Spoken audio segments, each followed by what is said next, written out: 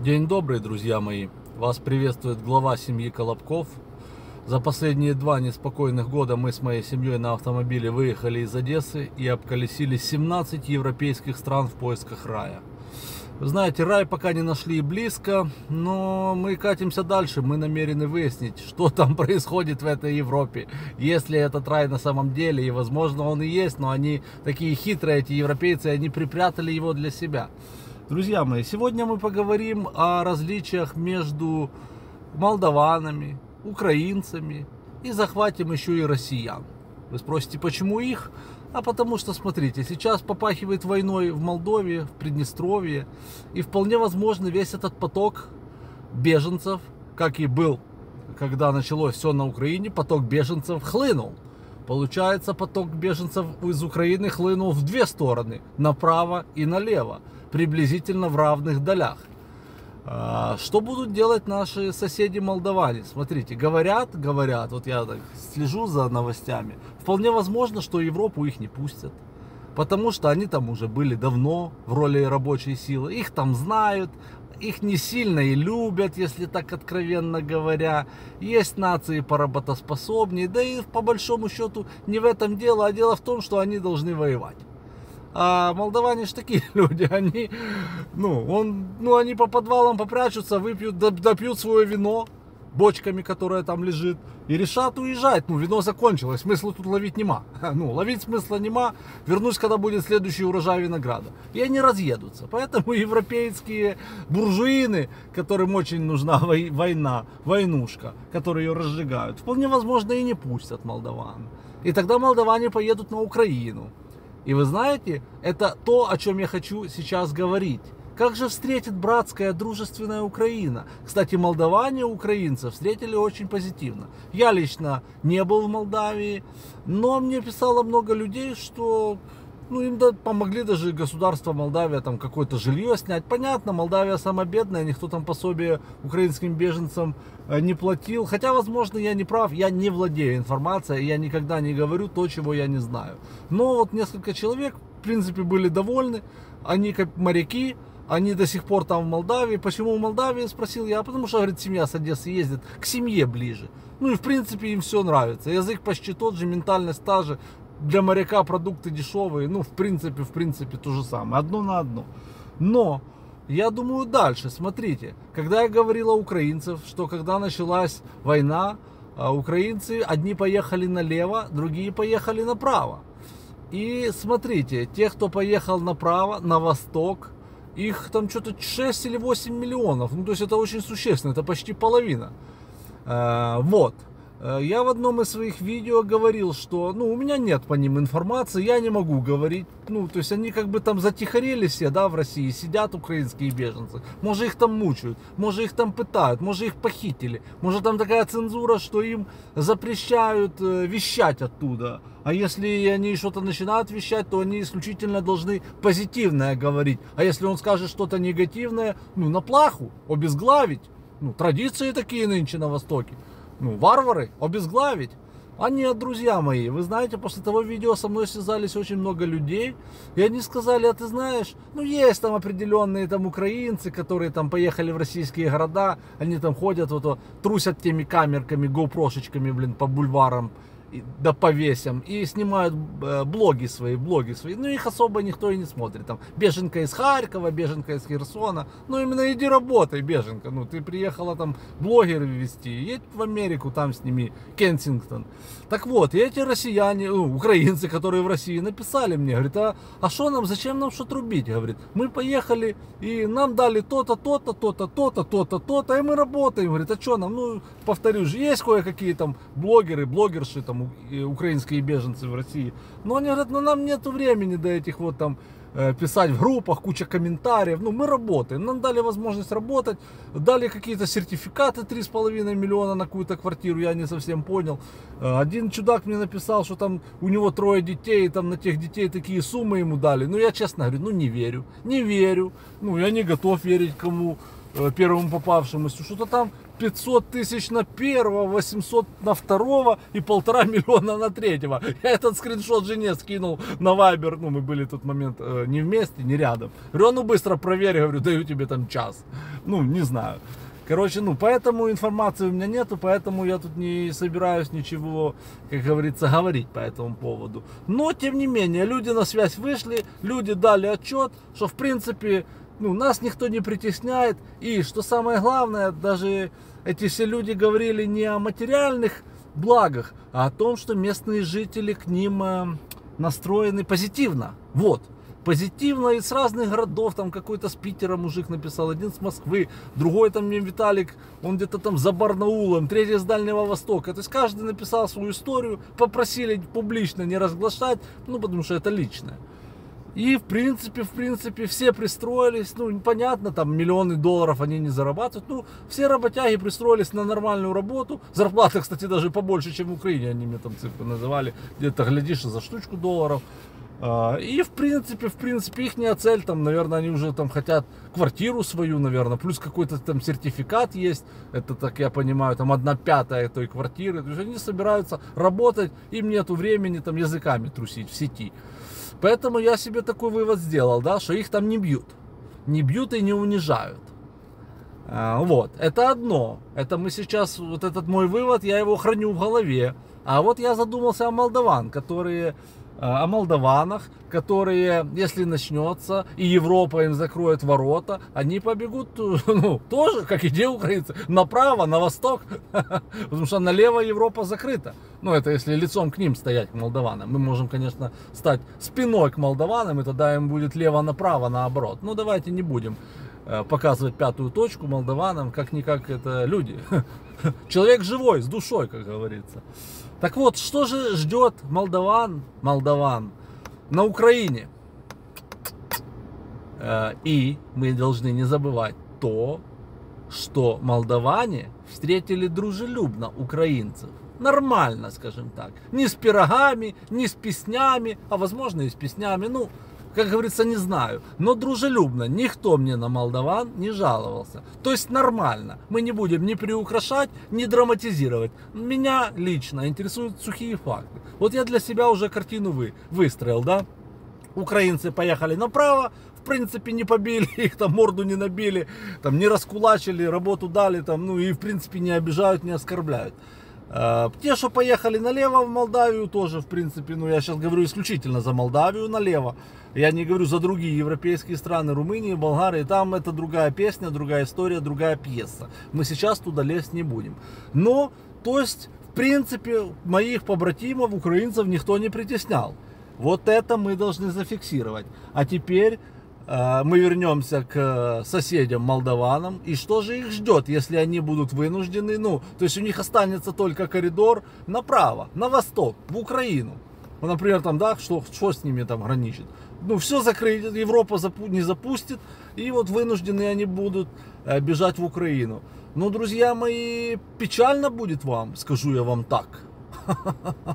Да, друзья мои, ну, я кого-то разочарую, кто-то надеется на ответная благодарность, на гостеприимство. Не будет этого. Не будет, обещаю. Ну, я вам не то, что не обещаю.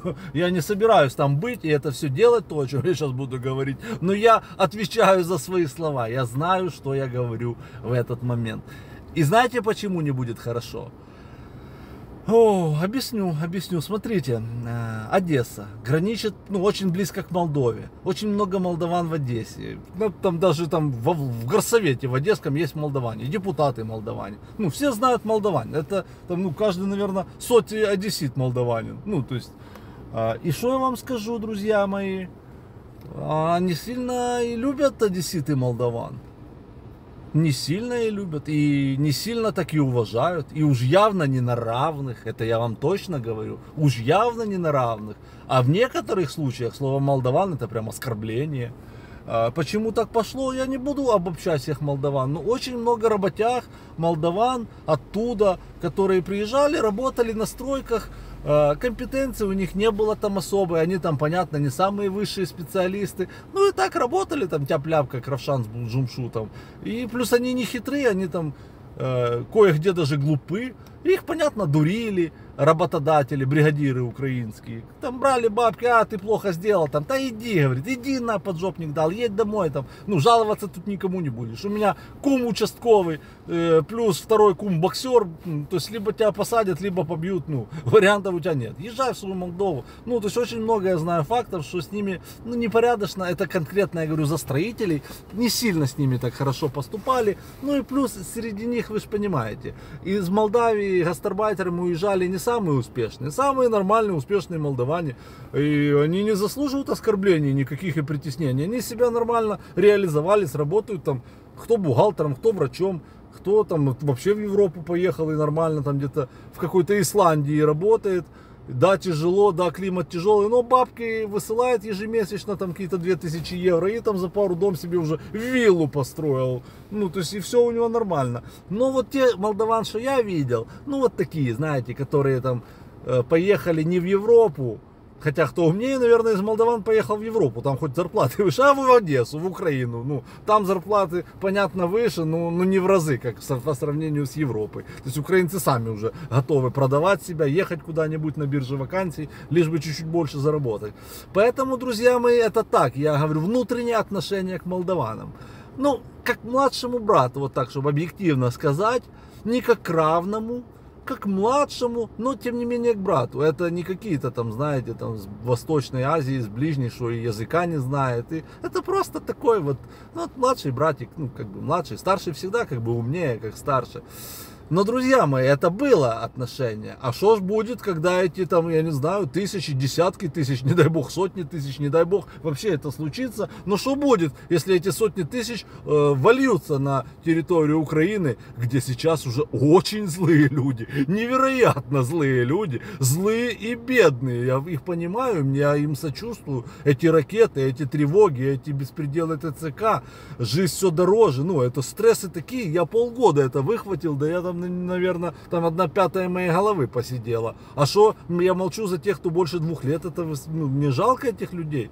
Ну, это, это просто, это стресс. Это стресс, который безвозвратно усиливает все внутренние заболевания и провоцирует их. Ну, мне очень жалко этих людей. Я очень хочу, чтобы все это быстрее прекратилось. Но что будет с молдаванами, друзья? И это будет им печально. Смотрите.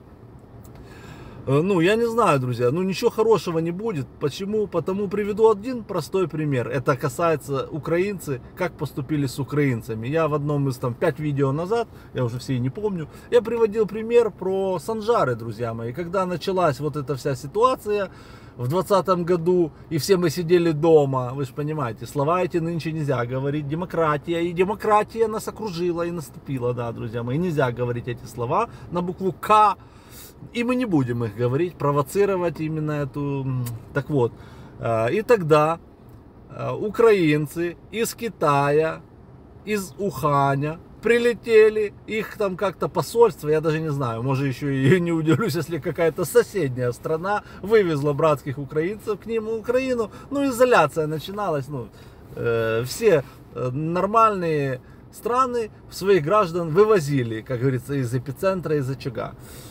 И их вывезли, ну их там еще проверили перед выездом, они все оказались нормальные, ну слава богу. Их посадили на один борт, еще раз тесты взяли, все нормально. Летели они, летели там десятки тех часов, прилетели, их еще раз обсмотрели, каждому в ротик заглянули, с гланды, соскоб взяли, ну все четко там. Полипы в носу тоже отскоблили, под микроскопом посмотрели, ну все нормально, ну нормально и все. Вернулись люди. Но, как говорите, знаете, береженого Бог бережет, и их решили на две недельки э, в какой-то лагерек, пускай еще посидят. Ну, поначалу все же испугались, поначалу все думали, что это правда. Ну, повелись, повелись, а теперь а теперь, а теперь они все поняли, что это было. Но за то, что было, надо морды бить, друзья мои, я вам так скажу. Мне очень понравилось видео, мне не один уже подписчик прислал. В Телеграме, кстати, у нас группа появилась, семья Колобков. Туда могу скинуть. А, жители Италии, да, я их характеризовал, охарактеризовал как бедные, но гордые итальянцы, которые еще имеют ядра. Они нашли своего члена правительства, который уж очень зверствовал в те недалекие годы и очень всем хотел сделать вы понимаете, три раза прямо каждому итальянцу он хотел сделать и сделал многим. И Италия, Италия была одна из лидеров по количеству смертности, потому что там очень много пенсионеров, иммунитет же там уже не такой сильный. И вот эти здравые там итальянцы еще не все э, подурели, а потому что легалайза нету, слава богу. Ну, в общем, они пришли под дом к тому министру и начали ему напоминать, воу, Василий, ты там призывал нам делать с нами это по три раза. Мы, ну, и они теперь его ходят за ним и преследуют, и преследуют. Я скину, друзья мои, в группу в Телеграм, то есть они не забыли, они не простили, и они его преследуют. Так вот, друзья мои, когда мои земляки прилетели из Китая, из Уханя, их отправили в Санжары, в этот лагерь, там отдельный горнолыжный какой-то, и неважно какая это область, друзья мои, мне там после того ролика, наверное, 300 комментариев, что это не западная а Полтавская область, да какая разница, я что, об области говорю, я говорю о Санжарах, где они есть, там они есть, ну, хай там они и будут, ну, я ж против землетрясений, чтобы что-то сдвигалось куда-то. Так вот, друзья мои, и что же э, их привезли, и что же случилось, друзья мои? А случилось непоправимое, непоправимое. Стадо, масса взбунтовалась. Да кого вы нам привезли? Это не наши, это не наши, бо они были за, за, за границей. Наши за границу не ездят, да тем более у Китая. Мы по Китаю что знаем? Ну только что по телевизору показали. И что было, друзья мои? И я даже не знаю, вы просто если вобьете в Ютубе э, слово «новые санжары», там, инцидент – вы ужаснетесь, что было, друзья. Ужаснетесь. Была битва. Битва полиции, которая сопровождала этот автобус теми несчастными, замученными украинцами, которые с дороги, которых уже 48 раз проверили, там уже, блин, уже мазки с попы взяли. Ну, чистые, свежие люди. Ну, то есть они не заражены. Нет, а, их не пускали. Их местные жители тех Санжар, вот есть кто-то там сейчас в Санжар, не стыдно вам? Вот кто там бился, кто те автобусы закидывал камнями, те перепуганные люди, ну вот представляете, украинцы после этого стресса, перенесенных несонных ночей, прилетают к себе на Украину, им сообщают, что вы должны теперь две недели сидеть там где-то в отеле, и мы будем ждать, ну, кто из вас умрет, ну, а кто не умрет, поедет домой. То есть они в этом стрессе, раз, э, ну, смирились, а варианта им выбора не дали. Все, они в тех автобусах, там несколько тех автобусах едут, подъезжают к селу, и они видят, что они видят? Друзья, земляки, хлеб-соль, а нет, они видят баррикады и видят таблички «Проваливайте в ад! В ад! В ад!» Они, ну, понятно, охренели. И потом начала полиция, там уже приезжал. По-моему, даже а, Аваков туда приезжал, друзья мои. Это есть в Ютубе. Там куча роликов по три минутки. Посмотрите, граждане Молдавии, посмотрите. Посмотрите, что вас ждет. Вот туда посмотрите. Мне не надо верить. Ну, можете мне не верить, ну, хотя я никогда ни разу слова не За каждое слово я отвечаю. Ну, вы посмотрите туда, введите новые санжары, и вы увидите, что вас ждет на Украине. И я вам скажу, это жесть. Те люди с вилами на автобусы, на, ну, спецназ приехал, разгонять этих людей, пропустите. Мы отвезем их в санаторий, они сказали. Там будут специальные медики, которые с ними там будут закрытыми сидеть. Они, ну, они не будут вам гулять по селу, это изоляция. Ну, никто вам их не пустит, не бойтесь. Тем более этот санаторий, ну, в горах, далеко от села, тех санжар. Новые, старые, там, средние. Блин, нет, они именно баррикады, шины горят, коктейли молота, там, блин, БТРы туда приезжали, друзья, БТРы. Министр МВД приезжал, успокаивал их, говорит, угомонитесь, люди. А и там есть интервью этих людей, которые, нет, мы не пустим, это не наши, они были за границей. Наши булочную за границу не едут. Ну, вы думаетесь. Это мрак, это мрак. И вот, друзья, вот это элементарный пример разницы, разницы украинцев и россиян. А для россиян мы, это как для нас молдаване. Вот это именно зеркальное отражение. Страна меньшая, страна бедная. Украинцы, для украинца молдаванин страна меньшая, он беднее, для россиянина украинец страна меньшая, зарплата была меньше, понятно, средний украинец беднее. Вот так вот, друзья мои, там встретили, а тут встретят тоже, но вилами. Но вот это типично, это, это мрачно, это печально, друзья мои, но ну, так и будет. Понятно, будет куча нормальных украинцев, которые встретят тех молдаванов. Ну, все будет хорошо. Но, друзья мои, все да не все будет хорошо. Повторится вот это с санжарами. Это я отвечаю за свои слова. Отвечаю. Как, ну, это просто, ну, не дай бог, чтобы это все было, случилось, но Но тут даже, тут даже вот просто для себя я такую параллель провел, да, сравнил. Сравнил нас, украинцев, хотя и печально, и соседей наших справа, слева, как мы похожи и как мы не похожи, да. Ну, как-то так, друзья мои, как-то так. Ответить себе на вопрос, почему мы такие злые, почему вот мы такие злые. Да возможно потому, что бедные, возможно потому, что разочарованные, как-никак, знаете, жили мы там, не тужили в том Советском Союзе. Несмотря на все десятки его минусов, особенно позднего Советского Союза, э, ну, многие видели эти минусы, особенно кто поумнее, несмотря на то, что им там и полисадничек какой-то дали и квартирку, они все равно видели эти жирные чиновичьи рожи, они видели эти минусы, они видели этого меченого, им не нравилось, куда это все шло, но все равно, оказывается, несмотря на все эти десятки минусов, это было хорошо. Это был вообще рай, получается. Ну, а получается, а когда еще было, вот я задал себе вопрос, когда было самое счастливое время, ну, вот застал ли я счастливое время, когда было за последние там 300 лет, я не смог себе назвать, за последние 100 лет, когда было самое там хотя бы спокойное пятилетие, я не говорю уже там за 50-летие, а это, друзья, наверное, там 70-е года какие-то, да, когда там, понятно, тяжелые эти революции, войны прошли, началось отстраивание, и люди поподрывались, и на этом энтузиазме, тем более там в 60-х, ну какая коррупция, это минимальная, мне кажется. Хотя я там еще и в планах меня не было, но я так считаю, что коррупция была минимальная, все строилось, и на энтузиазме люди строили. Понятно, там уже пришли вот эти, блин, Кузькина мать вот это пришла, а потом тот с бровями, блин, которые у него срослись, аж, блин, я не знаю, что у него там, циркуляция крови была между глаз или что, смотреть любил на все. Ну, короче, то есть уже как бы лидеры были не самые, как говорится, лучшие, но тем не менее потенциал потенциал по накатанному шло, шло, и вот как раз, наверное, вот я так подумал даже, там, э, свою фотографию, вы знаете, я увидел это, меня задумало натолкнуться, я увидел, я 84 -го года, и я увидел свою мать, которая вела меня годика три с половиной, мне было вот как сыну моему, 4, наверное, она вела меня по Одессе, это была старая черно-белая фотография, но это была центральная улица, и на этой фотографии было запечатлено все, и я все понял, друзья мои. Я увидел счастливые лица этих людей. Это был там 80 какой-то, там, пятый, шестой, седьмой год. Я увидел счастливые лица этих светлых людей. И вот я пришел почему-то к выводу, хотя я, уж поверьте мне, я копал на этот Советский Союз, на всех этих лидеров, на эти все гулаги. Я там такого накапывал, я знал все, эту, все эти минусы, я знаю. Но, несмотря на все они, то, что есть и то, что я знаю, выходит, это было оптимальное время. Ну, выходит так, друзья мои. Ну, вот так и получается.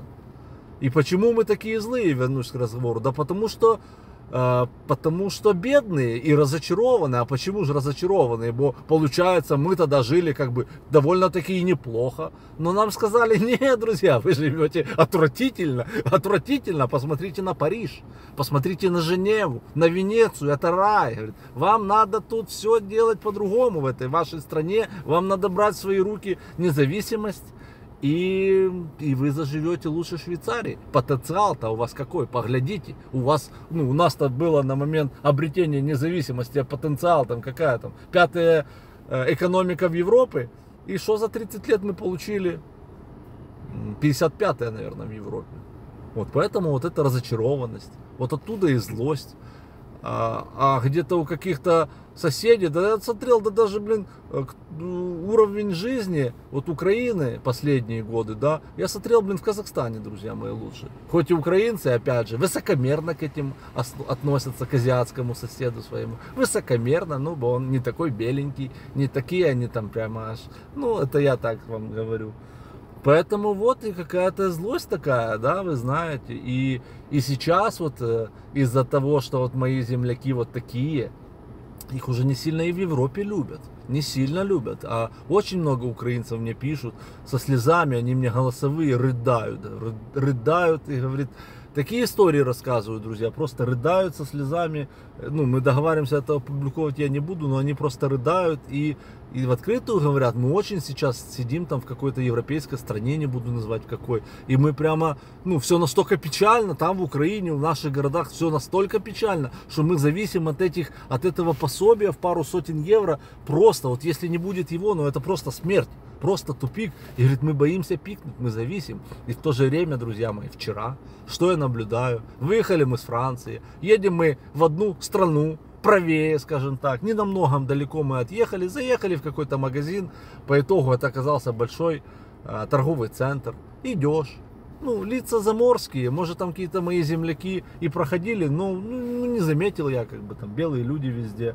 И тут я слышу речь ну, по-русски они не по-русски разговаривали. Идет пара, молодая, мальчик, девочка, а мальчики две девочки. Мальчик, значит, цыган. Ну, черный-черный такой, ну как цыган, не знаю. Ничего против цыган не имею. Почти. Цыган, с ним девочка, лет 17-18, красивая такая, капец, ну именно очень красивая, худенькая, лицо красивейшее, именно класс. И вторая девочка, ну, прям противоположность, абсолютно некрасивая.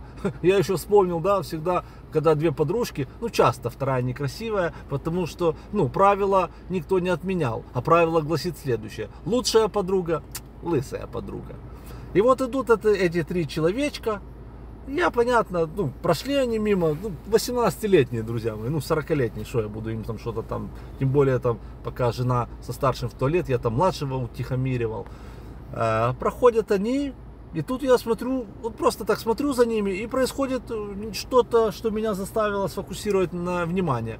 Парень резко останавливается, говорит, давайте, вперед. Они идут. Я еще думаю, что неужели воровать пошли? Оказывается, смотрю взгляд, куда они нырнули, ну, в отдел, в магазинчик, в секс-шоп. Они нырнули в секс-шоп, он выждал секунд 40 и зашел следом.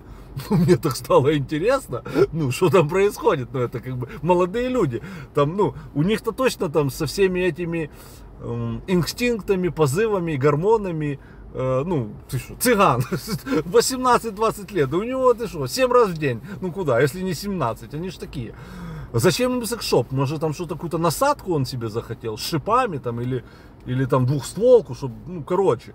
Я не сдержался, взял малого и типа, типа с ребенком на руках прошел, заглянул, они там именно угорают. Ну, представьте, там эти всякие висят огнетушители с шипами, всякие эти, ну, мерзости, богохульство вот это на стенах висит. Плюс та европейка стоит такая, ну, смешная, присмешная. А эти трое там именно, а, ну, блин, 17-18 лет. Я помню, я первый раз зашел в 14 лет в секс-шоп, да я, меня выгоняла эта продавщица, я там как увидел, я, я же не знал, я-то что, маленький девственник, я там и порнухи не было, телевизоров не было, я и не знал. Я там думал, что в пупик детки делаются. Дядя на тетю ложится и пупик пупиком. Ну я думал так, плюс это пуповина в каком-то фильме, я увидел, обрезалась. Я думал так, я же не думал, что все обстоит. Именно грехопадение это такое плотское, именно, именно стыковка, именно ох. Я, ты что, я когда я там в том секшопе побывал в 15 лет, ты что, вы бы видели, там что, это именно, это, это именно было именно, ты что, торнадо именно. И эти зашли туда, понятно,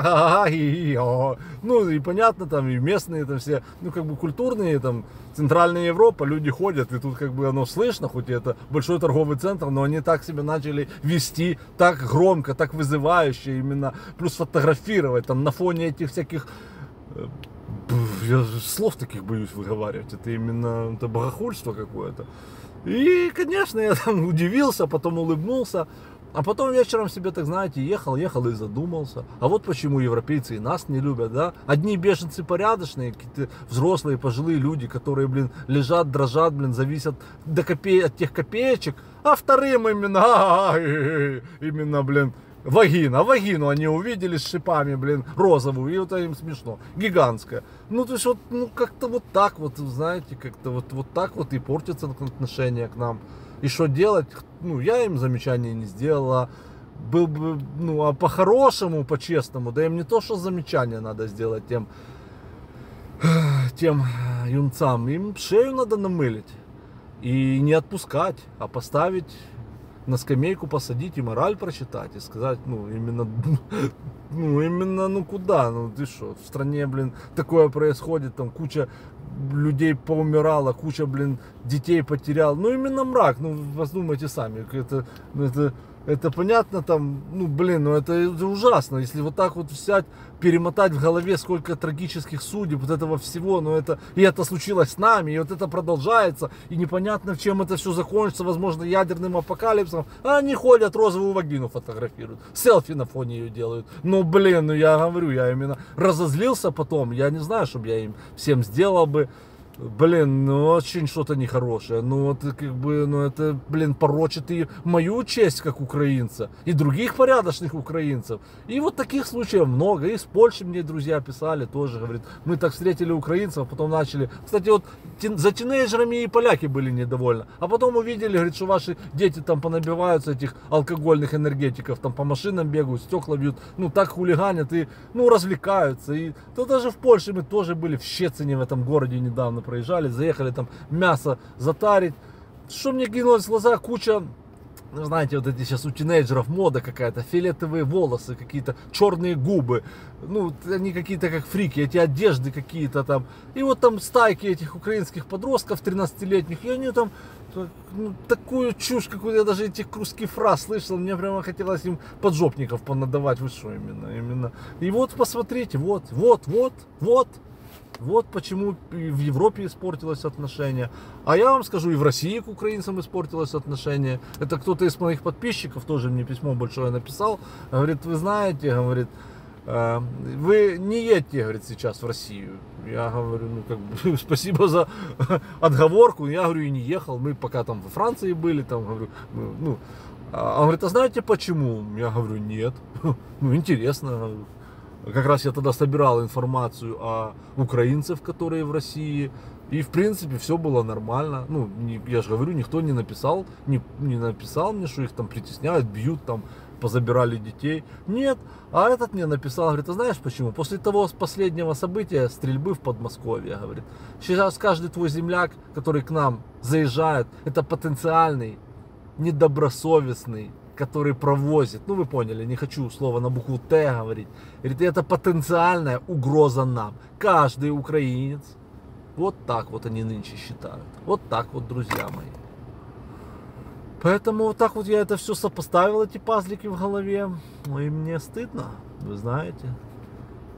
Как-то вот так, вот такая правда она, вот такая крайне горькая и неприятная даже для меня. Я по сути о себе говорю, украинец, одессит, да.